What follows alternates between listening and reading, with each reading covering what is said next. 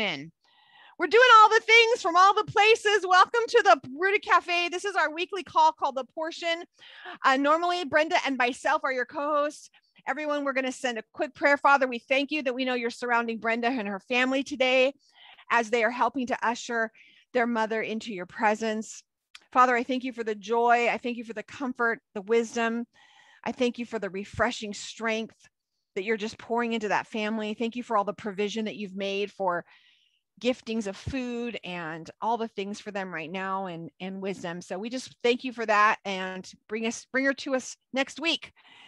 Um, if you this is uh, if you, you're new just so that you know this is our weekly portion call. This is when we're going through each portion in the torah portion which is just a section out of the portion that everyone's following along in the same thing. If you need a copy of that to know where we are you can look under files or downloads. It's up in there or let us know and we can help get that to you um, super practical application, 0% religion, 100% relationship. Please double check every single thing we say because Lord knows what could come out of our mouths. Um, we, we have so many diverse doctrines here, so many diverse in beliefs, but together we all point to Messiah. And that's what our goal is here is just to all point to Messiah. So um, this call is part again, part of one of our is our free membership. Um, and you can access uh, replays to this as well in, the, in your library. And if you don't know how to do that, please um, email us at info at the rooted cafe with a K and we'll help you do that. Um, I think that's it. Okay, that's all I'm going to go for there. This is getting excited. We are in Leviticus 16. So open up your word. I use the Tree of Life version. Let's see if you can see. The reason I like it is because you can't see, I like that it has um, the portions. It actually says the portions above so I can find it. I actually like this version for that reason, but that's the one I use. I also have the scriptures. I also use the blue letter Bible. So I look up all the other versions because I like to see, because it's, you know, Hebrew is a verb driven language. It's a huge hieroglyphic, giant mural picture. It would take truckloads and trainloads of documents to truly get every little letter, word, conjugated and interpreted perfectly it would take every all the things it would take so much to actually actually see it also if you can get a little bit from every version you kind of get uh, a better understanding i think so if this is your first time and you have questions please don't hesitate to reach out if you're live with us we have the comments going over here in zoom all the girls all the ladies here's where the cool kids are hanging out so get in there answer each other and chat about myself today so i might i might be looking like this trying to see all the things if you're watching live on Facebook, we love you. Welcome, welcome. The replay, all the same. Love's going out to you guys. This week we're in Leviticus 16 1. We're going to go through 1830. Okay. And uh, here we go, me trying to say this word. If someone can unmute if they know how to say it better, please do.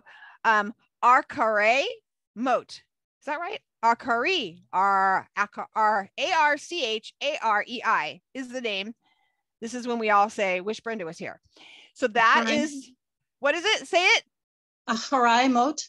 Acharei. Yeah, I was. I did the acharei. I did it right before we started, and then, yeah, and then my brain took over. Okay, acharei. Acharei. Remember the do that part. So it's interesting that this word that I had written in my notes from before, the word uh, acharei is actually means a loose translation would be the word after. And then immediately we start go right into it says after then Adonai spoke to Moses after Arharai, the death of the two sons Aaron of Aaron when they approached the presence of Adonai and died. So the father approaches and said after they came to him with remember strange fire and I'm really bummed that we didn't get to be with each other last week because there are so many cool things about Tazria, about all the things about uh, having leprosy, what that could really mean. So tune in next year when we go back there. But after this is all happening, he comes back and says, Now, after this all happened with Aaron his sons, but but it's interesting that he's saying now that we've seen how this is what my interpretation is. Now that you've seen how not to do it, after you've seen it done wrong, then I want to show you how to do it right. Right. So he's saying after this happened, when Aaron's sons did it the wrong way, then he, he appears to Moses and says, let me just show you how it's supposed to be done. The other thing that I have seen, I have seen and read is the word also is is giving us a picture saying in the ultimate after in the ultimate after in the in the messianic age in the ultimate after when yeshua is our high priest in the ultimate after this is when this what it's going to look like and this is how things are going to be happening so that's where we're going the ultimate um this is also telling us not just how to escape it you're seeing we're not just saying how do we escape sin how do we uh how do we keep from doing it this is actually a whole portion on how to be redeemed from it how we're going to be redeemed how you can be redeemed and we jump right into yom kippur this in the service of what happens in the service of Yom Kippur. And I would love in notes, you guys tell me some stories and we can talk. I can, I'll jump back over here in a minute and see some stories about some of the traditions maybe that you've brought into your home as far as Yom Kippur. I'd love to hear some of those because this is a time when a lot of people, how many of you guys, I uh, hand say, yes, that's me. How many of you take the day off? How many of you know that you tr- this is a high holy day. It is a Shabbat. It is a high holy Shabbat. It is a day. There's no eating. It's a fasting day. It's mandatory. A lot of times we're like, well, what days do I fast? This is one of them. It's it's a fasting day. It's a day of atonement. It's a day when we're seeking the Father. It's a day when we're seeking to be cleansed. It's a day that um, some in some congregations they they are wearing white. I see Debbie saying, uh, "We fast." Anyone else? Uh, Erica, you're in here. What do you do? uh Erica, ours has a small prayers in the book, like the small siddur. It's a tree of life family Bible. Oh, I love that. Someone came we, unmuted. Tell me what you, la- what you do. Last year, um, our assembly, we had a whole prayer. Usually it's kind of like on our own, and then we would get together right for a service right before the um, to break it. Right. But last year, um, everything was different and heightened last year, you know, because of everything going on. So uh, we did um, a full day of prayer. So the men started early in the morning, and then um, and then we read through. Um, is it Jonah that we read? I think it's Jonah that mm-hmm. is traditionally read, and then there were right. some other scriptures that um, throughout the day we read and prayed and read and prayed um, for it. So not everybody was there all together, but whenever when people, but there was someone praying all throughout the day. Oh, I love that. Speaking of prayer, would you open us in prayer, Erica? Do you mind? No, no problem. Oh, Father Yahweh, we just give you thanks and praise for this day you've given us. We just thank you that you're bringing us and ushering us into your special time, your holy Shabbat. And I just ask that um, as we learn and speak and um, grow in your word, um, that you would teach us. Teach us about your holiness. Teach us about the way that you desire for us to live um, so that we can grow close to you because we know that everything um, flows back to that, Father, growing close to you and loving one another. Um, we just thank you and praise you. And we just ask uh, healing over those who need healing. Yes. We are praying for those who need strength right now, Father, for Brenda and her family, for those who are dealing with um, sicknesses or death in the family. Um, or just emotional upheaval, Father, all those things, Father, we pray that you're just covering them right now. We love you and praise you. Hallelujah and amen. Amen you know, we talk a lot on here about how we are, we want to be very, very, very beginner friendly. But I feel like I have quite a few of you who are, have been doing this for 15, 20 years, it's been a long time. And what you're enjoying is you love that we're talking about practical applications. We're pra- talking about how do we practically walk this out. And I want to encourage you if you're a beginner and you're just starting, and this is like maybe the first time you've ever read this because you've avoided Leviticus at all costs. You like went running when you saw Leviticus, you didn't even show up to service that day because you're like, oh, they're preaching on Leviticus. I'm out. I hate that book. It's scary. And I don't want to be told not what to do, but also I don't understand it. You are in good company because there's a lot of us have felt that way. And I want you to know you're okay and you're in the right place. But what I also want to encourage you is that I want to encourage you that any downloads that you get, I want you to share them with us and not think, oh, well, everyone probably already knows this. Because I have something today I want to share about that. And I, the first thought I had was, gosh, everybody probably already knows this. And I'm just now getting it.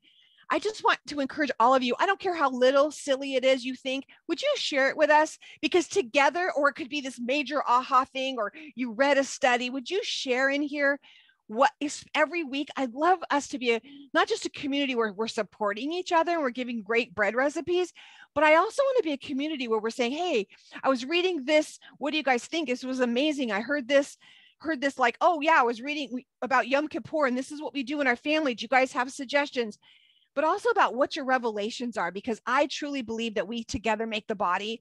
And as we're doing this as a body, um, I'm going to get a little piece from you and a little piece from you and a little piece from you and a little piece from you. And each year I'm just building more and more knowledge. Wouldn't it be great inside of our little, you know, Torah journals, if you don't have one, like keep a notebook that you get to write little lines in there of new little things, not only that have you've received as a download, but you know, gosh, things you've received from each other. What have you learned from each other and, and those downloads? So it's a day to fast it's all it's a day to repent. This is the day when you as you're reading through here you see that the holy one is telling aaron this is how well he's telling moses and aaron this is what i want you to do and this is how i want you to walk things out and this is how i want you to for your the redemption of the sin of, of the people of yourselves as the as the priest and this is the process that i want you to go through and this is going to happen one day a year. It's going to be a day that is going to last for eternity I want you to be doing this. This might be your first year. If you're not, if you haven't done any of the festivals yet, can I encourage you to choose this one? Can I encourage you to choose this? Someone look up the date. I think it's in September. I think it's like some, I don't know. It's in September, like the 12th or 11th or something. Look up, know the date, get the day off because it's a, it's a Shabbat. You're not to work. You're not, this is actually a fasting day as well, like we said that you have a plan for it. Because I feel like what has happened to me most of my walk is that I'm so busy and all these things. And it's like, oh, it's now what do I do? It's it's Yom Kippur. Oh, now what do I do? It's this. And I would love this not to take you by surprise this year.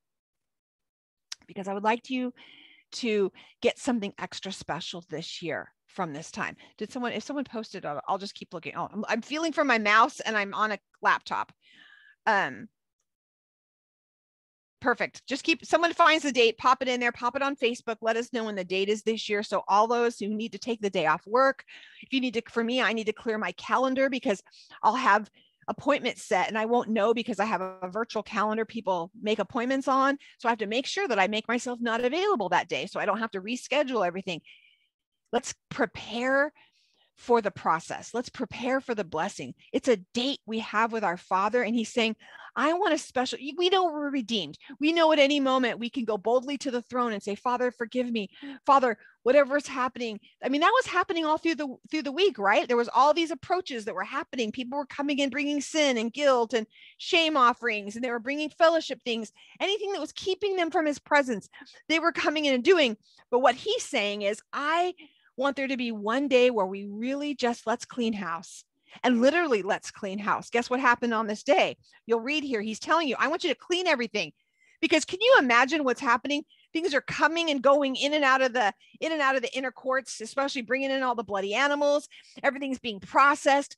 Not just the physical filth of it all, but can you imagine the um it, the spiritual dirtiness of it all people bringing in all of their stuff and just bringing it all in and so it was a time when the priests were supposed to basically spring clean spring clean in the fall. Lisa you have your hand up unmute go ahead unmute and and go sister. You have something to say? I was just gonna say um, i think some women put it in the chat too but um and i'm probably not saying this right guys but i think it's something around like the halal calendar but on that calendar um it starts on sunset at Wednesday, September 15th, 2021. The date yes. you're asking for, just so well, well, one more time. What's the date? September what? Um, so sunset at September 15th. Okay, that's what I thought. I thought Till nightfall, September 16th. Yeah. Perfect we you'll hear us talking so i apologize for those that if it brings confusion we we follow up the hallel calendar only because for us we choose to do that because we are in alignment with whatever's the majority of tapping in in israel. It happens to align with what we've known and what we have walked in. There are several of you who walk in a different calendar.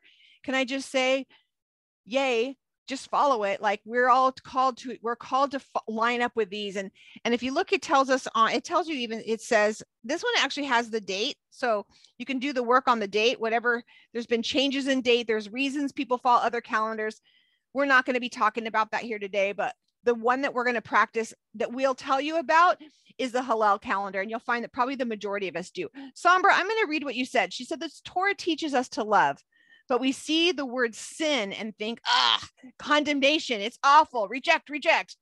But we can change our vision and see sin not as something to hate, something to reject, especially when we see it in others, but rather sin as aiming, but missing and trying, but not perfect yet. Let's not treat sin as if it's something to blame. Rather, let's see it as something to encourage, to keep trying, to keep refocusing. Um, see if I can see because I've got more here. To keep refocusing, th- to aim so that we do get it perfect in time. Yes, the name, the whole purpose of sin the word sin is just missing the mark. It's an archery term, missing the mark. It's not you're burning in hell because you did this. This is you've missed the mark. So this is a time when we when we have the a high priest, which we know Yeshua is our high priest. So if we just keep every time we talk about everything that Aaron is supposed to be doing, I want you to think about what Yeshua is doing for us. Is that we have this we are this is a time when when the two goats would be brought to the altar and then then there would be a bull would be for the kohanim they would they would they would actually have to do a bull right? We have the two goats. One would be chosen the hand the the high priest the priest with them would lay hands. Aaron is saying that he says i want you to lay your hands on the goat that was chosen and then you're going to put the you're going to then put the sins you're going to confess the sins of of the congregation of all the people onto this goat. And then if i'm not correct i read through and i i read it through about three times and this is one of the things I've never paid attention to. But can someone, someone who maybe this is like, yes, I already know this. Let me tell you, silly goose. What from what I see see here is that that goat, we call it the scapegoat. That goat, uh, the word is actually the, I have it written in Hebrew, is the Az- Azazel. Azazel, and it's actually sent to Azazel, which is like the wilderness. So it's Azazel is the scapegoat can someone show me? It seems to me that that that goat is present through all the stuff that's happening and at the very end and they finally take it out and they can someone say yes that's what happens? Um because I that was one of the things I wrote down because I'm like I want to know this because I feel like there's something to this as well is that that goat stayed until the end and then it was sent out. So that was one of the things that kind of I had a question mark and that's how I study. So that's kind of what I wanted to do today is walk you through my study this week on this is I write questions like hmm that's that's said a couple times. I wonder if there's something to that. And then I'll go back in. Or, hmm, I don't understand that. So I'm going to dig a little deeper. Or, hmm, that hurts my head. Maybe next year. I mean, let's be honest. Some days, some years, but sometimes there's that thing that hits you in your heart and you're like, I think he's trying to tell me something here. And that was one of the ones I just put a question mark.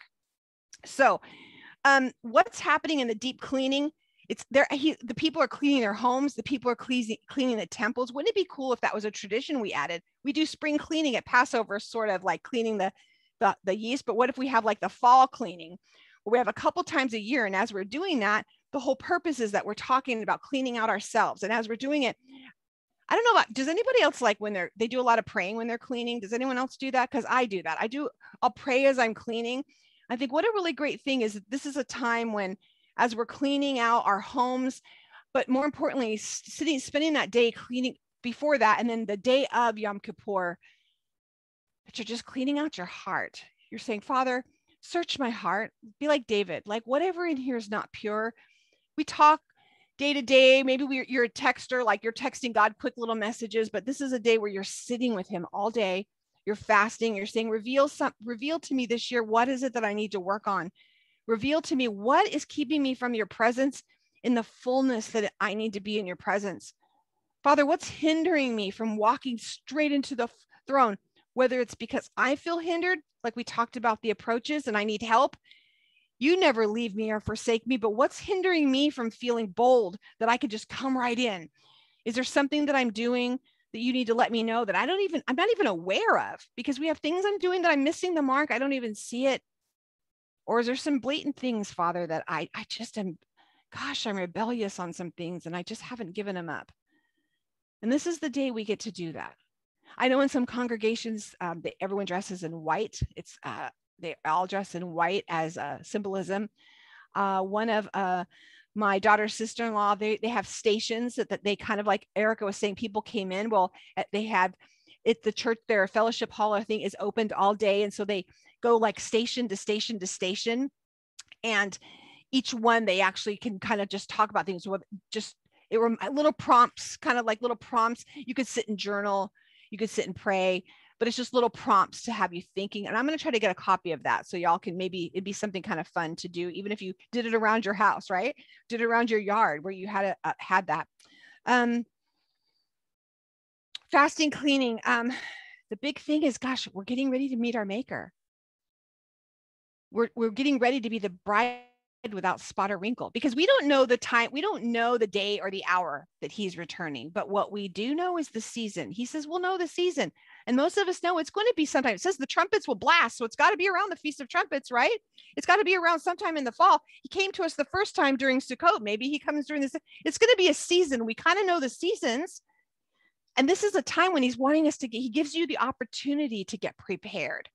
Let's get the white clothes on. Let's rinse out the spots and wrinkles. Let's do some cleaning to get things all ready so that we're ready to prepare ourselves to walk in. And then we're reminded, Hebrews 10 3 tells us that we're reminded of our sin every year. Every year, he tells us we're reminded in our sin. It's a time for us to humble our souls.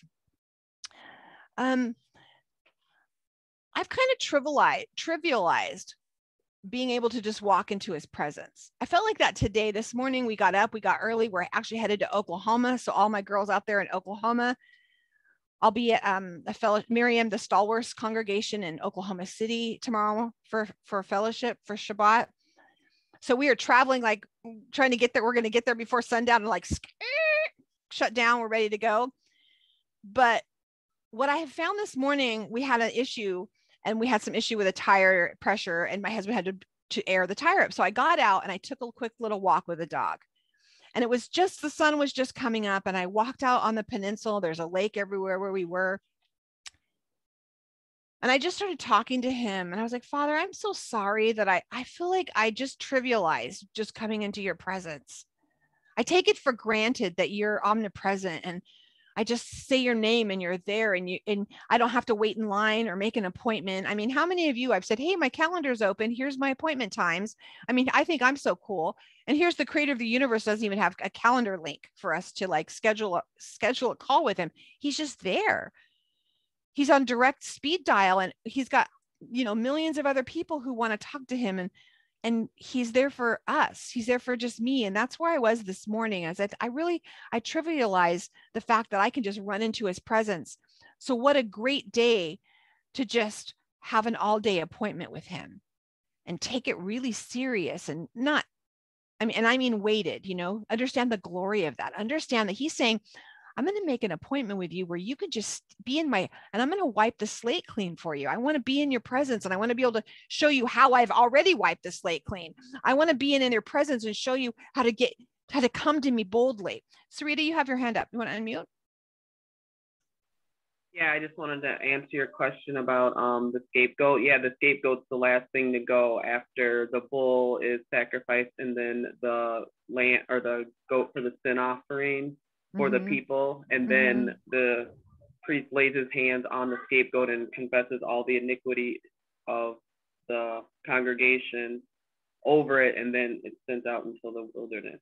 So, yeah, you're right about that. So it's like the last part of that yeah like do you guys does anyone have please unmute yourself or or if you're watching this on the replay if you have some insight on that or you have a revelation or you've been taught something on that i'd love to hear about that because i don't i don't think that this is a mistake. Does anyone else think like hmm i don't think it's i think it's interesting that he's he's the scapegoat is till the very end and then he's sent out.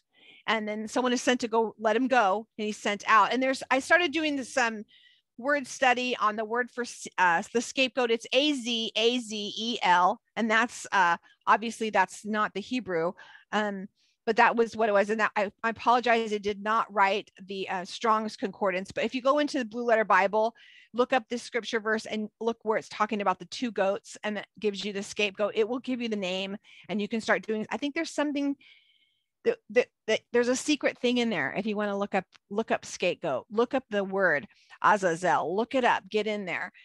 Uh sarita you have your hand up again? Just unmute girl. It's, it's interruption yeah, day just come in. as i'm as i like just read through it it's interesting because messiah is he's uh he is our the the sacrificial goat in a sense but he is also the scapegoat because he takes he purifies the temple, he takes away those sins, but then he also takes our iniquities. So it's like he's all of that. And even though the Father used each separate one of the atonement for the bull with the bull and then with the goat for the whole congregation and then the scapegoat, it's like that's the fullness of who he is when he sent Christ. He took all of those sins. All of it. He stayed there till the end. And you know, I, I I wrote on my I wrote my notes. I put Yeshua and Bar, uh, Barabbas. Remember when they're which who who shall we take? I mean, it was like the whole process happened right in front of us. We had the two the two goats were sitting there, and they said, "Which one do you want to set free?" And the the lot was cast. Not really, but it was cast to the people. They got to choose, and they didn't. They chose not to set Yeshua free so that it was interesting that he actually plays both parts right? He plays and but there he's actually chosen as the scapegoat as the azazel. He's chosen at that moment that yes he's now going to be the one that is not set free. He's not going to get to go not freeing lollygag and free. He's going to be the one that takes on the sin of everything. He's going to be the one that takes i'm um, barabbas i don't even know if that makes any sense. That don't follow that trail everyone. Keep going. Hey charlie just, yeah. Um, just as you were thinking about or as you guys were talking about it, something that came to me, it's like a whole like different trail here. Yeah. So as we're looking at the messianic age, yes. Um, and so, you know, here we got trumps, trumpets and atonement. The books are open. We've got judgment, and that being the final thing that happens, it kind of makes me think of like, you know, the the goats and the sheep, kind of like, um, and that final casting off of the impurity. Ooh, um, good. getting the, you know, you've got to get the impurity out of the camp. Um, so it's kind of the, those final ones who say, um, we're not doing this. We're, you know, we're not bowing the knee, you know, or, um, you know, the demonic, whether, because, you know, Azazel is, I think, you know, if you look at, I think it's what the book of Enoch, it's mm-hmm. kind of, whether it's the fallen angel, you know, um, it's, there's those kind of traditions attached to that name. So I like, yeah, that's the immediate what I saw when you talk about final. So what's the final thing before um, you know we get into that um, that that eighth eighth day, right? The, you know we got to get out the the final because we know during the millennial reign we've got people who are still saying no because they're not coming up for tabernacles and they're not you know so they're given all of the chances and saying you know um, you know, here's the time. Uh, and then they still say no. So I don't know. That's where I went with it. it just as you, that popped up in my brain right now. Oh, that's good. And, if you guys, if I don't see your hand up, because I'm on a tiny little screen, so just like unmute and say, "Hey, I have something to say." Okay. Um, yeah, I, I think that is good. I, I'm I was making quick notes because I want to spend some time in that too. Uh, it's interesting too that we have we have Aaron now too. So they the the the goat's chosen, and then Aaron's told that now he's going to go change his garments to enter into the holy of holies. He's going to change his garments. He has to remove all of his high priest garb, and he has to have a mikvah, and then he can go into the. I mean, he he goes in with his white garments he goes in there and he is um, fully humble. That's what I just kept seeing was that he has to humble himself to come before him. He can't even go in with all the. Can you imagine how? I mean, okay, so I always tease my husband. I he used to have when we met, he had this stupid big truck with I'm just embarrassed. It was flames. It was lifted. It was like crazy truck.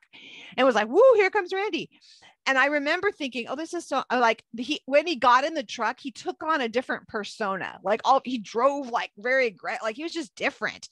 And I mean, I feel like, and I remember that when we would ride on his motorcycle and I would put on my little motorcycle babe outfits, I walk different, like with my motorcycle boots on, and I just walk different. I present. Does anyone have something maybe when you put it on, you just act a little different? Um, I see my daughter when she's cooking and she puts on a little cooking apron and she goes in. I watch her her posture changes and it's her it's her happy place and she's her everything changes. So i'm thinking of when he i can imagine how hard it would be not to walk in a little bit of like to to keep that pride under control when you're wearing this garb all over you with these beautiful stones on you and you're, you're like everyone's like whoa he's the high priest. Like you're it. Now he has to humble himself because he has to bow. Nothing is nothing is higher nothing is higher and he has to bow down he has to strip everything down we're told in galatians 3.27 that all who are baptized in messiah have clothed themselves in messiah And Revelation 7 14 said, We are washed in white robes by the blood of the Lamb.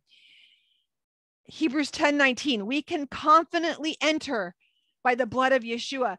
Those, all those are hyperlinks back to this section right now. Those were all hyperlinked that we can confidently go in, that we're washed by him, that we have these robes. So we had the altar happening, the brazen altars happening out here, and then we have the golden altar. And before I, I had a, a, a download I want to share, but the, I want you to think of these two altars for a second that things are happening on. You have the brazen altar where people are bringing stuff in daily, right? Where stuff was happening. Even the, the goat that was not chosen as the scapegoat was actually was actually uh, was actually uh, sent up as an offering on that. So we have the and the brazen altar is an alloy. It's a bunch of mixed metals. It's hard. It's um, and I'm thinking of things like our flesh. It really represents our flesh. It's where the flesh and the hide were burnt out there. All the meat is burnt out there. It's a place where I think that even Halisa teaches that it's the nephesh. That's where the flesh is is processed. But when you get into the inside, into the golden altar, you get in the inside that's where the where the only the blood is brought in. The blood is sprinkled on there. None of the none of the flesh is brought into that. It's the things that are happening secretly on the inside. It's where the incense is happening. It's a sweet smelling place. And i just want you to have that feeling of what's happening out here. You've got the flesh burning away. All of our all the things that are obvious is getting burned away. And then we have a process for all the secret things to be handled as well. So this is a time when it's not just it's the intentional and unintentional sins. It's the things that were outward that are easy for us to see, but it's also those little things that maybe no one knows about. Maybe it's the thing that um, it could be a wound. It could be, it doesn't necessarily mean like the sin, like I love sombro. It's not meaning sin doesn't mean like you're like, oh, leprosy, you know, sin. It's your sin is something that's just you're missing the mark. And I'm going to tell you, I have things in my life that you guys would be like, what is the big deal? That's not a big deal. But I know for me, I'm missing the mark. I, I am trying to think, Lisa. You know what I thought of you? Uh, Brenda, uh, Shelby, and I were talking about you the other day, and we were talking about we loved your heart because we started out talking about our workout program, what we've been doing working out, and she was saying she remembered you talking about loving doing that, doing barre um, that you loved that because you loved how it made your body strong. You were very happy. You're confident in your body for like the first time ever in your life. We're both remembering this, and we remember something that you said. You said, "I'm just praying that the holy that it doesn't get to a place where the Holy One asks me to give it up because that becomes something that's." Um, it's one of those things like we'd all be like, what? That's great. You're taking care of yourself. You're everything. But secretly, sometimes we can, something can then become where we're obsessed with it or we put too much attention on it. And it couldn't be it's a positive thing, but it's not where God wants us. Does anyone have some things like that in their life? If you feel like sharing it, um, uh, I'm seeing some things about, unfortunately, not all of us are aware of, that we're not missing the mark. They may not want to know what the mark is or should be either by choice or ignorance. This is true. But what we have to trust is it's the Holy One's job. The Holy Spirit convicts. And I've been, and I've been boldly praying that pray prayer lately because I heard someone say, I'm praying that the Father convicts them. I'm like, oh, I forgot I could pray that. So I've been praying, Father, convict me, convict me of the things that I'm unaware of, that I don't even know that that that are that it's keeping me from miss from hitting the mark. And what's the mark? The mark is getting into his presence, running into his presence boldly and not sheepishly walking around it because I don't know that there's something.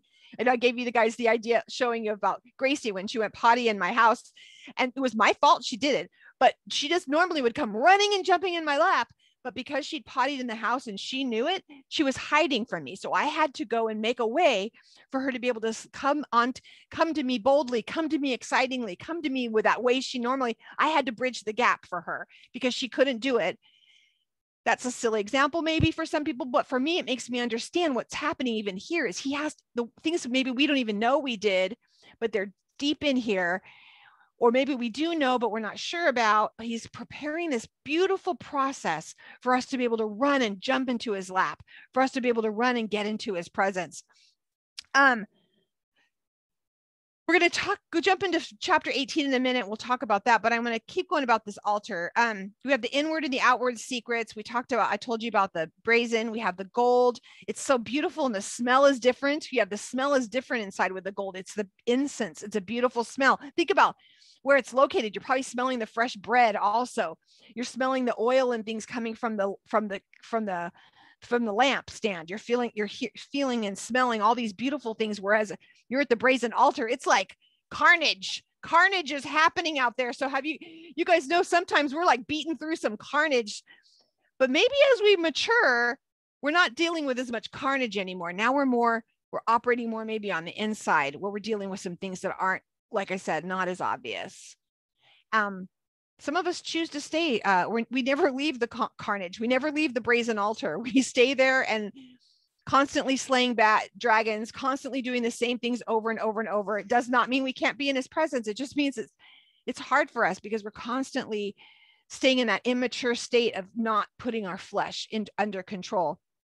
Um and the other thing I wrote down was each person selected their own offerings. When when they brought offerings to the to the tabernacle, when they brought them, um, I wouldn't come bringing my my thing and say, "Oh, uh, I'm gonna pick Lori." No, Lori, that's not good. Lori, uh, I'm gonna go pick. I'm gonna go get your. You need some doves. You know what? And I, I saw something you did last week, so I'm gonna go get one of your goats too. Okay, so and honestly, you probably should bring the bowl because, you know, I saw through the window. So here's every that never happened. We're not told that we're supposed to help each other, help a sister out and go pick her her sacrifices she's supposed to bring to help her get. The same thing is true. We're not supposed to point the other thing is when we had which we didn't get to talk about last week is when you you weren't to point out someone else's leprosy we weren't supposed to say unclean, unclean. That wasn't supposed to be what happened. It said you were supposed to put your hand over your mouth, your up, up, and say as you're walking, unclean, unclean. You were supposed to take responsibility for your things. You were supposed to take responsibility for um, making it known that you you someone shouldn't be around me. Now you might hear me some days. I'll tell you guys, I am not fit for human consumption today because I don't want to cause you to sin. And I already know I'm not in a good place. And right now he has to work. I'm way at the brazen altar. I can't even get to the golden golden altar right now because I'm still dealing with some flesh stuff. It's rising up. I'm slaying a dragon right now, and I'm not fit for human consumption. Sometimes not only do I not do that, it was beautiful love that had the people go outside the camp. Being sent outside the camp, I'm sorry, I'm going to jump into last week anyway. Being sent outside the camp was an act of love it was saying, you know what? You've got some stuff erupting. Now, sometimes the things erupting are not so obvious to other people, except for when our mouths start and we start getting snarky. Maybe you don't have you don't have tazria, you don't have leprosy, but maybe your tazria is is something on the inside. Your heart is yucky. And all of a sudden your mouth, because what the abundance of the heart, the mouth speaks. So your mouth starts, that's me. My, your eyes start rolling. Your head might start bobbing if you're me. you start saying things that aren't very life giving.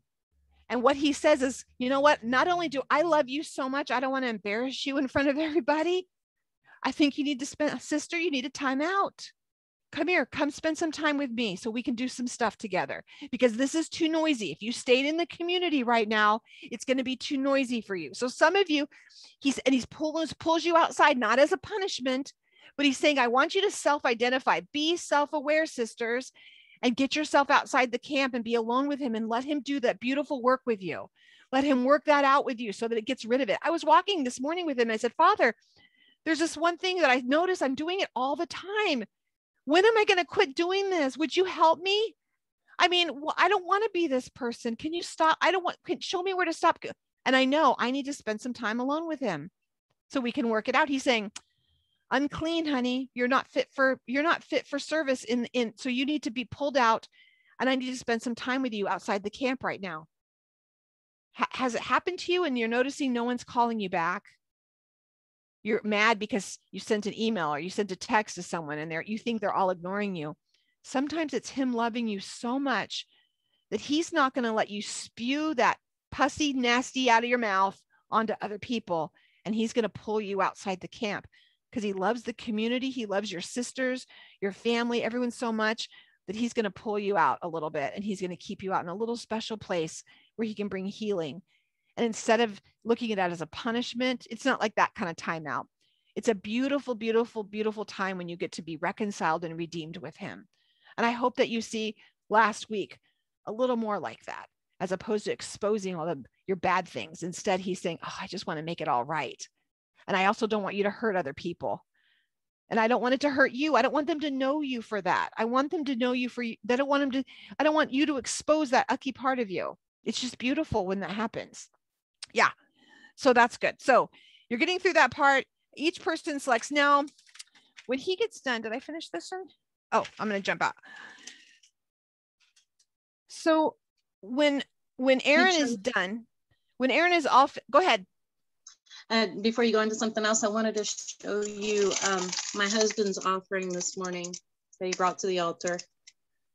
you know, when we wake up and you have a conversation on the day, and then it ends up into something it wasn't supposed to be, and you know it's Friday, and before you can come to the altar this evening, mm-hmm. you know mm-hmm. you're going to have to make that. That's what I loved about coming into Shabbat. You know, we're not supposed to hold our anger, and we're supposed to be right with our, our, you know, our members of our family members that are intimate and very close with us. Every day, we shouldn't let the anger go down. Um, but especially when it comes to Shabbat, you, you got to make it right before you come to that altar. And so um, my husband and I this morning having a conversation um, at the beginning of the day, and it just went all the wrong way, all the wrong way. And it's like, ah, and it's Friday. And then so he, when he got back from the store, here was his little offering he brought, right? You know? For those people and, listening, can you tell them what it is, Lori, for the people who aren't going to see you? Chocolate chip cookies. But it's his way of saying, hey, can we be at peace? We don't, we didn't settle anything. We didn't have to have a good discussion. You know, we've been married long enough. It's been 15 years. You know, we know this isn't it's not like things are resolved. These are issues, you know, relationship issues of how we, you know, connect. We know we have issues, right? But we're okay and we can deal with the next layer of that another time, right? So we're at yes. peace. And then we can, we know we both need to resolve things, but it's it's okay. it's okay. You can go to the throne. It's the fellowship offering, right? You can both open that up and eat those cookies together, and it's your fellowship offering to be able to say, I had a fellowship offering yesterday. Mm-hmm. I had a um I had a family member who hadn't spoken to me for two years, and it was based on um something Torah really they think I'm in a cult. We've talked about that before, but it was kind of based on something like that. And basically they didn't they said, well, we'll we have to be like we have to just be uh, Paul and Barnabas. We're just going to just split ways and we're not going to be able to be together. And a few months ago, she called me and, apologized. It had been two years and we are very, very close. It had been two years since she'd spoken to me. And she said, I just want to apologize to you. And she laid it all out, what she did wrong, how this was wrong, how the, she'd gotten, the Lord had showed her this, this, and this, and how sorry she was. And we live far apart from each other. And yesterday she had flown in with her husband for a wedding for, of his daughter into Little Rock and uh, I was able to drive up to Little Rock before we left and have breakfast with her and do a fellowship offering. We were able to not just be, we've been talking and texting, but we were able to hold each other, to eat together and re-establish the covenant together. Nothing else needed to be said. My husband said, was it awkward? I said, no, we like ran to each other. We were so happy to be together again. And, and that's how we should be when someone is out of the tent. When you've noticed your a friend is out, if you know your sister, maybe she's needing to spend some time outside the camp, you might need to bring a lasagna to her house so that you help her instead of pointing out how she's acting crazy. You might just need to help her so she can spend time and get well, so she can get healthy. Maybe he's trying to do some surgery on her and it's it's a very private, quiet surgery, or it could be giving birth to something and she's loud and screaming because just because we we're not dirty because we're on our menstrual cycles, it's the time when he's restoring us, when things are dying and things are being brought back to life, when our bodies are cleansing. And he loves us so much that he's giving us that beautiful time to be able to take care of ourselves. That's the same exact thing that's happening here.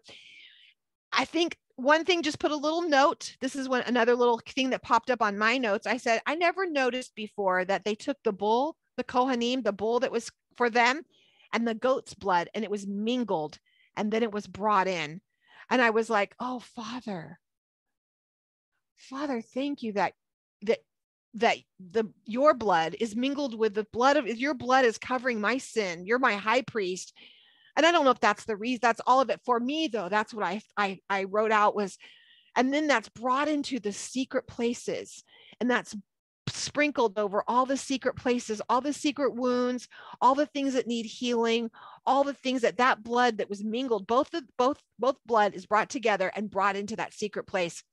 And then when it's all finished and it's all done, it says, never have I read this before. And I, I think I have to, it was, uh, it's in, I highlighted it. Oh, it's in uh, Leviticus 16, verse 23. He says, Then Aaron is to come into the tent of meeting, take off the linen garments that he put on when he went into the holy place, and leave them there.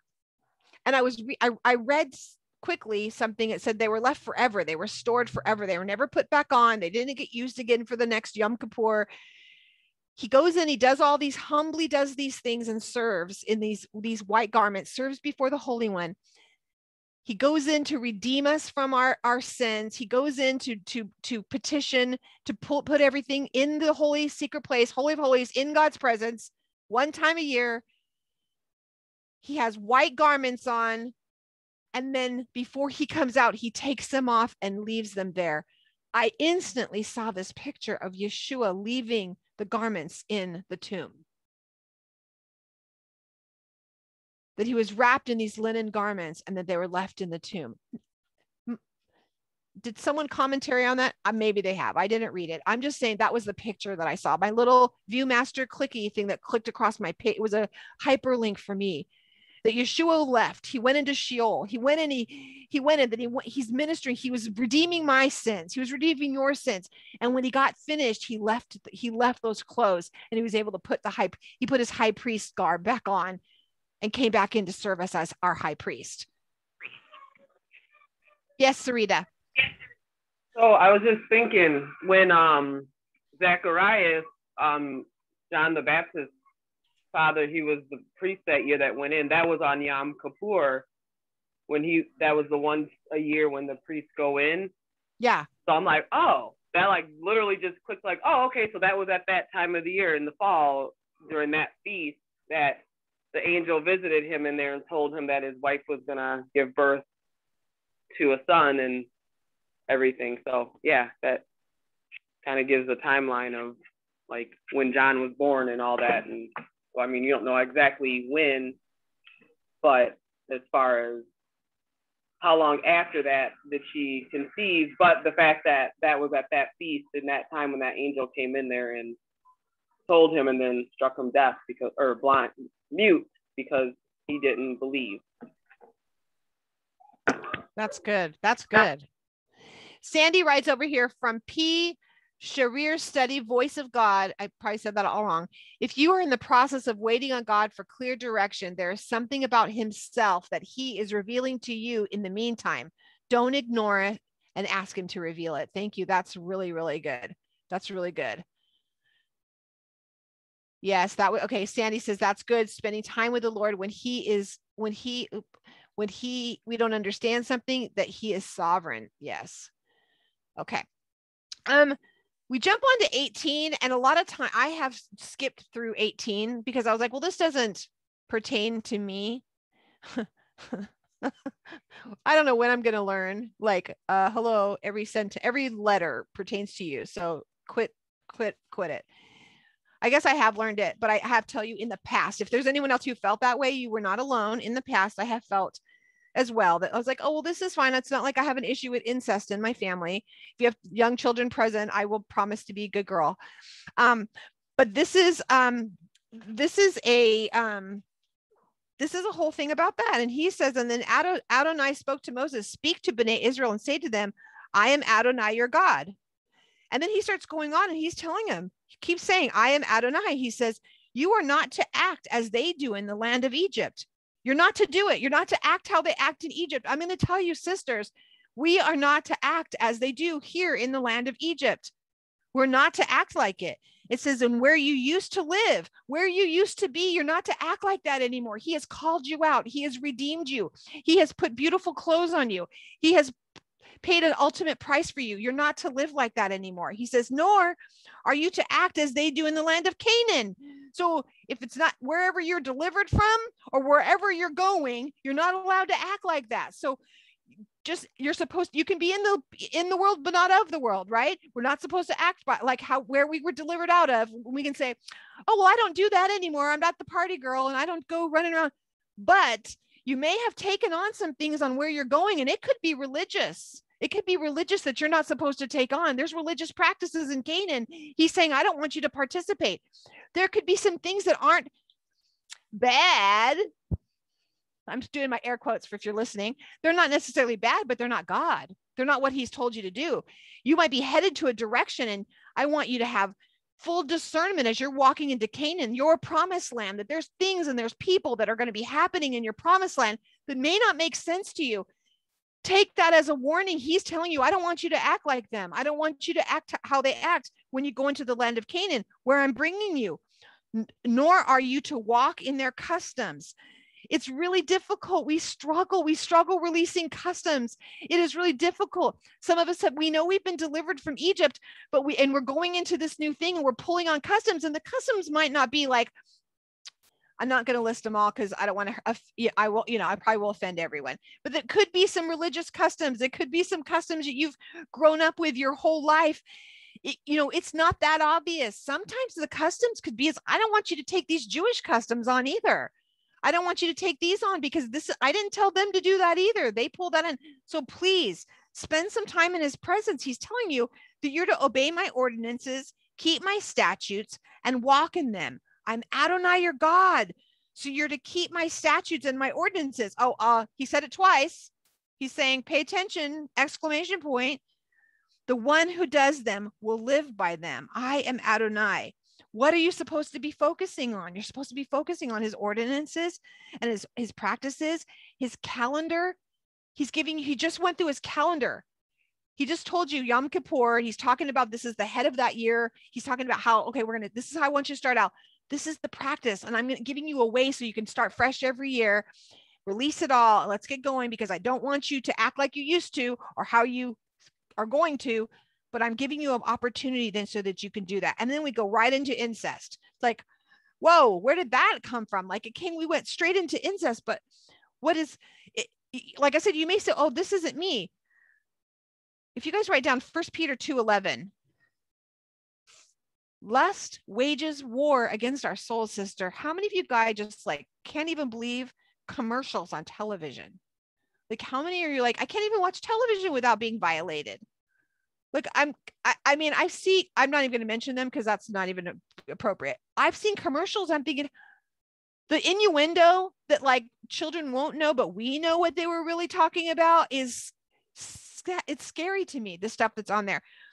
Um, when you're looking through this incest, it isn't just the obvious things that we can say, okay, well, we all should know you don't sleep with your daughter, you don't sleep with it, you don't do these things we say, well, duh, that's like in our culture, it's taboo. You don't, we get that.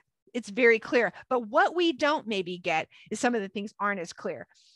Some of the things like books we read that cause us to have secret fantasies that are happening.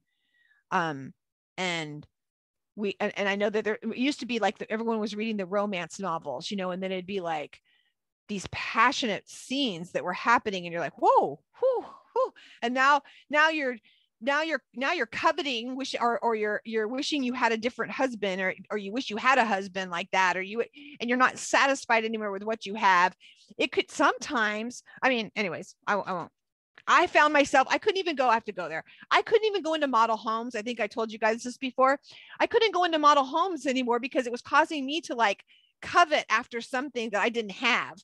And it was when I say he might be telling you to repent and get rid of some things, that was for me. It was it, they revealed to me that I had a dissatisfaction with his provision for me. I was dissatisfied with what he'd given me. And when I would go to that, it would cause me to sin. So I had to stop going. I had to stop watching HGTV for a while for the same reason until I finally got out of the, I could come back in the camp. Like he had me out of the camp and turned off HGTV and said, Sister, you you're it's causing you to sin it's causing you to covet it's causing you to not be happy with my provision and to to lust after things not people but things that aren't something i'm going to give to you it's causing that endorphins like oh i want this i want i want i want it caused some things to happen to me that i had to release um and it wasn't something someone else would be like, well, that's not even bad. Well, no, it's not bad. It's permissible to some, but for that season, it wasn't permissible to me. Now, now I could walk into any model home, any mansion, any anything, and that thought won't even. I think, oh, I'm so blessed for you. This is amazing. Glad I don't have to clean it. Like that's how I feel now. I'm like so right. Same thing. If you have amazing car, I'm glad I don't have to pay for the insurance, but I'm so proud for you. This is exciting. What a great provision. Yay. Um, all right. Gave you that one. Move on. There's some hyperlinks through this, quite a few hyperlinks. Um, again, not just blatant, blatant incest. The reason that they brought this, the whole thing about the incest, the reason that is because you guys know, like ancient Near East perspective was that if like a, a um, it's obvious the taboo part you think well duh you can't but if a sister-in-law moved in or if someone you, a man if he was as a husband is is required to provide food clothing and shelter and conjugal visits so that you you could have babies. That was like he was required to do that as your husband. And if he violated those it was it, that could even be reason for divorce. If he wasn't giving you conjugal visits and he was spending time with other people you could have get a writ of divorce because you weren't able to have children and that was so important and that was such it was huge.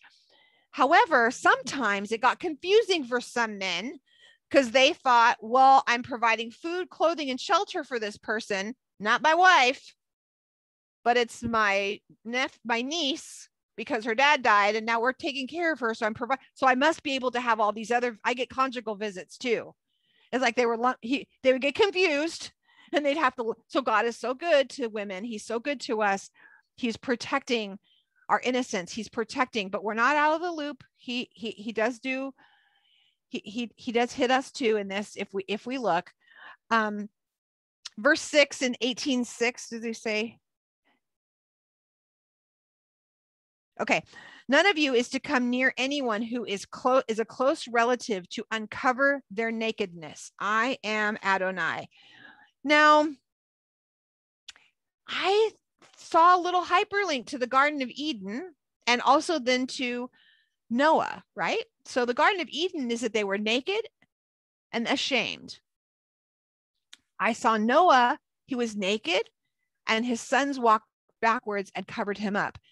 The one who didn't, he was restricted, he was cursed, he was limited the rest of his life. He wasn't as blessed as the others were because of him not covering sin. We see the hyperlink love covers a multitude of sins. We are not to approach our family members or our sisters in our congregation or brothers in our congregation and expose their nakedness. We're not supposed to uncover their nakedness. We're not supposed to scream unclean. We're not supposed to do that it's not our job to bring shame to them and to do that. We can pray that they'd be convicted because we see something that's bringing harm to them.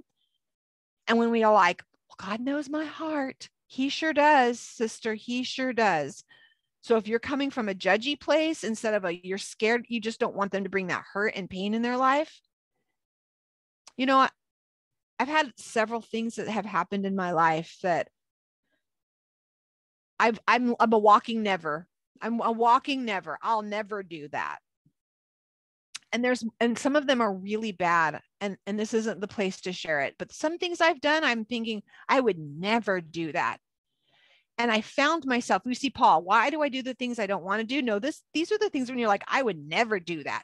The problem is my heart wasn't oh, I never want to do those things. I oh, I'm so sad. I saw she did that and I hope I, I never want to do that because I see the pain that brings.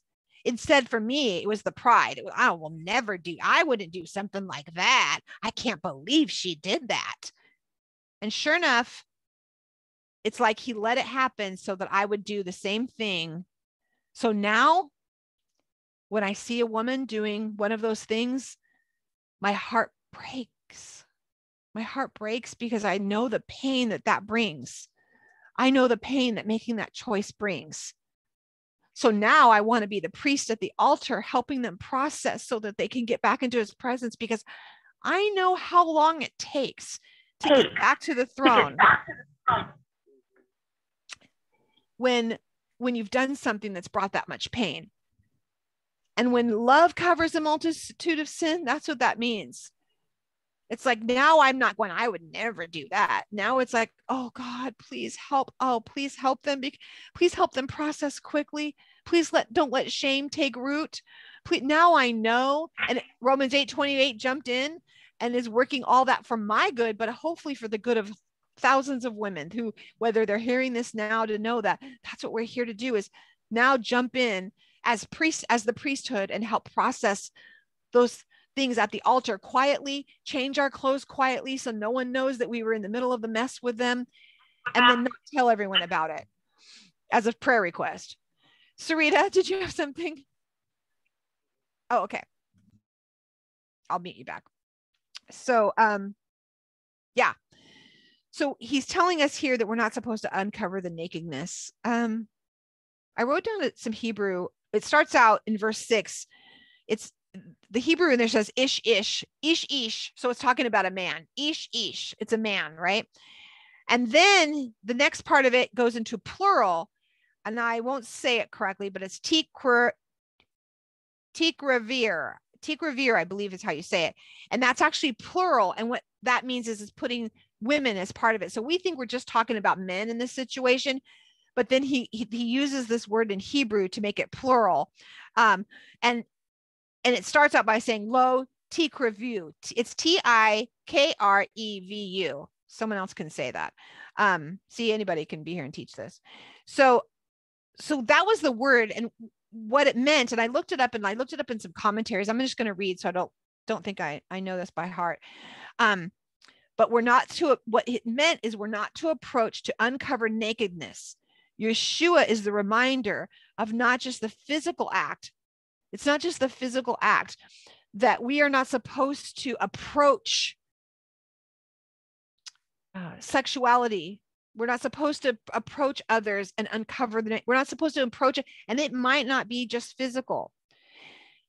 We could be thinking it. You know yeshua said it's not you know it's not it's not just that if you do the act of adultery but if you just look at a woman with an eye of adultery that's a hyperlink to this right here. It's exact a hyperlink. He's saying he was telling us that he wasn't like oh i'm coming up with this brand new covenant that that says well not only now i'm going to make it harder now not only can you not uh, commit adultery but you can't even look at a, a woman and think of her that way no, that wasn't a brand new concept. It was right here. He was telling them in this in Hebrew, he's saying it was it was big. You're not supposed to approach to uncover nakedness. So we're not they're not that means that is pornography. That's looking at something because you're approaching something and you're uncovering the nakedness. You're it's causing you then to it's King we saw David do it with Bathsheba. It's that prolonged look. It could be that it's that simple. It's the prolonged look, or it's the little look that you might give somebody and you're like hmm you know there's this little little look that took a little bit longer than it should and maybe you're like i don't know what you're talking about charlie but someone in here knows. Someone knows that there might be someone at your fellowship there might be someone in your family. It, it's someone that you might look at just a little bit too long longer than you should that the two of you had a little cute little joke between the two of you. He's saying this is this is this is going to destroy community. These are things put into place because he's trying to build a strong holy community so that we can walk this out well together ladies those of you who have mixed families where you maybe you have ch- uh, your children even not mixed let's be honest it could just be regular brothers and sisters we have to be mindful we have to watch we have to watch for that interesting little, you know, that little thing that we notice, wait a minute, there's something going on here that shouldn't be going on here. That's what he's saying. We need to be mindful of that. And ladies, we get we get the privilege of walking this out for our children. This is a lot of a place too where we find a lot of uh talking about the verses later. It says you're not to take your son's daughter your daughter's daughter to uncover her nakedness. That's what i was talking about for uh, their direct relative. A lot of people use there's some parts in here talking about modesty and i think that even in, in Halisa for her in her study if you go back i'll look this week but if you go back in her study she talks about oh, quite a bit about modesty. But this is a part too for modesty for girls. I was taught that i was supposed to protect my brother's eyes meaning all the men out there protect his eyes and it was their job to protect my heart to make sure that they didn't do things that violated my heart. So I didn't have boys. And if I did, that's what I wa- so wanted to, to extend that to them is to let them know that it's their job to protect girls' heart, their sister's heart. It's the sisters in their fellowship's heart, in their community's heart. Ladies, it's our job, even as grown women, it's our job to protect our brothers' eyes because they might look one too many times. I have a, I wear tank tops. I mean, I wear I have a bra. Sorry, I wear a tank top under everything, and the reason is because if I bend over or do something, I want to make sure that I'm protecting my brother's eyes. I'm making sure that if I'm in the, I promise you, I'm going to come to your home and I will not come with a shirt that is in any way going to be exposing something that is not going to be honoring to you as my friend, as my sister, that your husband is going to notice that I have a certain kind of shirt on. Sisters, we have to protect that. I see women showing up to things and I just have to ask you, please protect your friend's husband's eyes because we don't want them looking a couple and yeah it is our responsibility and nobody's nobody's saying it anymore. Everyone now we're going on to, to the opposite. We're saying well they shouldn't be looking. Well this is what i got. They shouldn't be looking. I mean i'm wearing a t-shirt and it's a little bit it's a little bit low so i have a tank top on because no one needs to see no one needs to see all that. I took a picture with something the other day with my girl with my friend with our thing and i noticed ooh there's a lot you can see a line you can see cleavage. No one needs to see that. So it's cropped out. I'm not going to post that picture so that I have my friends' husbands see that or their sons or someone sees that because there is nothing good that's going to come from that. And I feel like we need to be teaching each other that. We need to be teaching our girls that. I'm not telling them not to be ashamed of their bodies. It has nothing to do with that. It's about protecting their brother's eyes it's about protecting that. It's it and and in some cases it might be their sister's eyes. If they struggle with that if they struggle with homosexuality which is part of this portion if they struggle with some if they struggle with that then we need to protect their eyes. We need to love and protect each other so much that we're like i don't want to do anything that brings you harm. I don't want to cause you to sin so I'm going to cover up if that's what that, that's the case. I'm not going to run now. I uh, Deborah, I wish Deborah Flanagan was on here. We were cracking up because there's seasons in our life where we're prancing around in little bikinis because we thought we were just, uh, you know, fully Christian and running around in our little bikinis and we're all in front of each other, jumping in the hot tubs with our friends' husbands and like, oh, let's all jump in the hot tub with our bikinis on. And I know there is grace. Thank you, Father, for grace. And we were thinking, how did we get through that? I don't even know why he didn't just take us home we didn't think there was anything wrong with it because like no one's talking about it. And that's the reason why we get to talk about that this week. We just get to talk about it. Like hey set some limits on your television. Protect your husband's and your son's eyes that they don't walk into a room. I had company come one time and we had a, a, a parental code on our television. We were, shelby was just bringing this up yesterday. And we're talking about someone coming to visit and staying with us and they were wanting to watch something and they're saying oh can i have the code and my husband's like, well, why do you need the code? He goes, oh, because we want to watch this show and it says we need a code. He's like, well, if you need a code, you can't watch it here because I don't want my daughter to walk through the room. We don't want to watch that. But if you're going to watch it in the privacy, first of all, it's our home. Like you think you'd honor that. But if you want to walk, if our daughter walks through or something, we don't want any of us to accidentally see that. So put some codes you you might have to put, put some parental codes on your because it's just because you know when they added the tvma they put that up there now now that just gives them permission to show whatever they want because i cannot believe how many things that are on television now just because they warned you they told you it was tvma now it's fully pornography i mean full blown pornography like i am shocked like there's images i can never get out of my brain because of going through looking at something going oh no. And i am i a prude gosh, I'm sorry, but I think I'm turning into one. You guys, I'm sorry, but it's happening because it says I'm not supposed to. What? I read you the verse. Psalms 101 I will set no worthless thing before my eyes. I set a lot of worthless things before my eyes. I realize I'm had I prayed for conviction and it's happening. Maybe that's why. Sorry, guys. Uh, Sandy says there used to be dress codes at school, we need to pray for school representatives to repair that. Hey, it might be repaired because they all have to stay home and they have to, you know, they're all wearing sweatpants. So there you go. They're staying in their homes. I think, I think, let's see, what anything, anything else exciting? Spiritual incest. I did write a note. Um, not being alone with the opposite sex. You know, sometimes we can say, well, we didn't touch each other, we didn't do anything, but you have it there people have emotional affairs. Or there could be emotional incest going on between maybe a brother-in-law and a sister, um, family members, but they they're not physically touching, but there's an emotional, there's emotional things happening. We have a rule in our home that neither of us are allowed to be alone with someone of the opposite sex, that we can't be alone with them. I actually, we had to have a long talk because I had to have a patient and it was a very special situation that I had to give him an infusion and he and I would be alone and there would be no other person in the room. That was really hard. My, and my, it was a HIPAA violation that my husband couldn't be there. We couldn't have anyone else present. We probably should have said no. We didn't. We said yes and uh, it worked turned out fine but it could have not. I mean it could there was uh, there that wasn't a someone could have seen me coming out of this person's house and i'm all by myself. You know billy graham never would even be in an elevator alone with a woman. He always had someone with him. I want to encourage you guys if you have babysitters coming you take them home. You don't that's the rule we just aren't alone. He's not alone with with anybody especially if you have family members nieces. Don't set your husbands up for failure by having him run your niece home really quick you do it or go with him. There's there's just things that can't that happen all the time and we need to protect each other. This is a horrible horrible world and we have to do it. And we have to protect ourselves from spiritual and from emotional intimacy um, and and not forming unhealthy attachments. And it's happened. It's happened to me. It's happened to me. I'm be fully honest. It, it's happened. I have formed unhealthy attachments. I have had emotional affairs with people that i had to repent from um, when you i have had connections with people that i thought i thought oh i wish my husband was like that and had to repent from had to confess and repent from.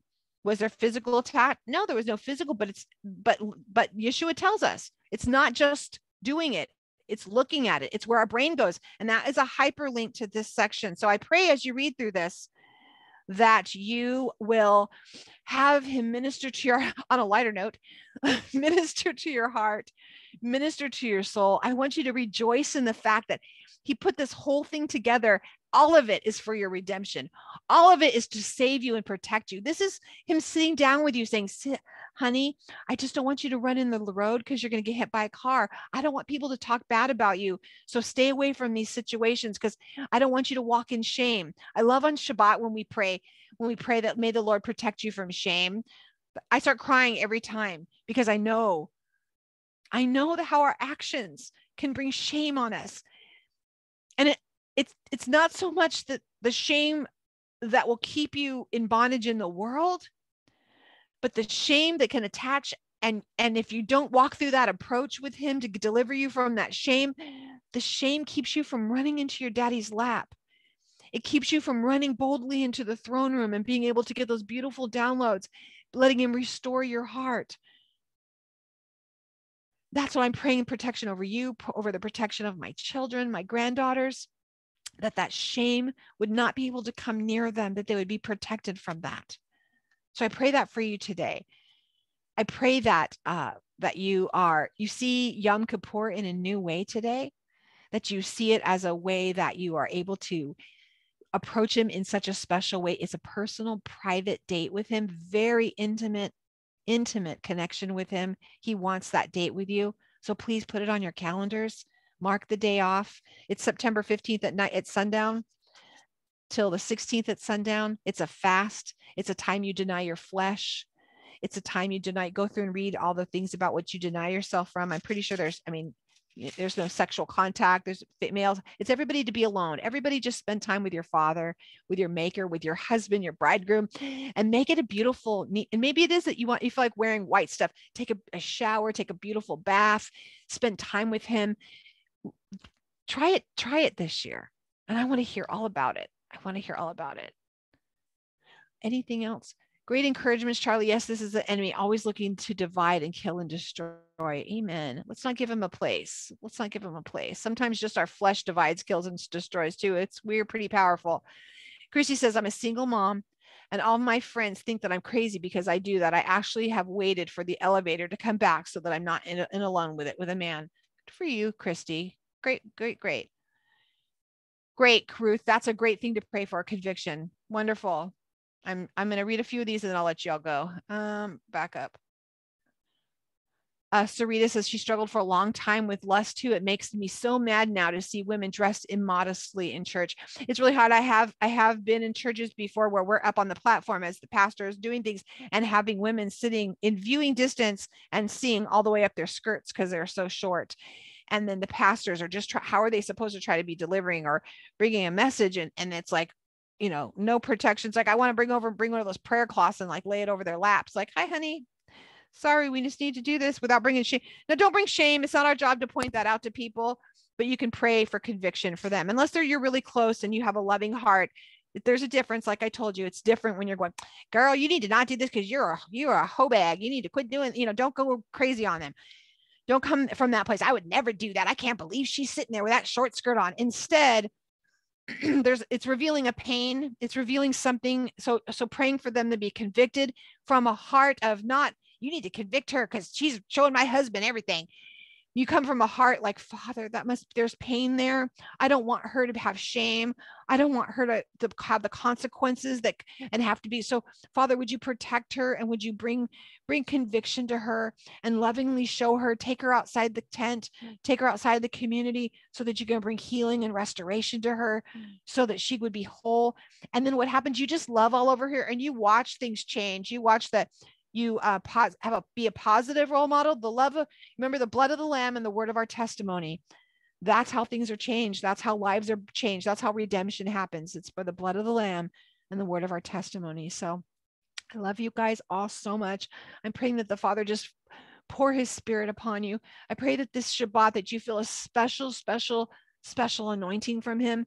You feel his presence like you have not felt in a long time that you quiet in your heart, you quiet your soul, you quiet your spirit, you cause your flesh to be quiet so that you can hear him, so that you can leave that brazen altar and you could actually go into the Holy of Holies tonight, spend some time with him. Father, thank you, Father, that as you surround them, thank you as you just show them how much you love them. I thank you for a supernatural provision today. I thank you for the women that are provision is causing them from being able to leave the brazen altar because they're so focused on provision they can't get into the inner courts with you because of that provision has become uh, so stressful so father we just we lay that korbanot before you that father you're our provider Lord, I, we lay that down now for every woman that listens to this that's struggling right now. I say that we lay that down. If there's lust, if they're struggling with lust or anything that's keeping them that they're just wanting, wanting, wanting, and they can't, they can't get it. There's that let we lay it down now at this altar.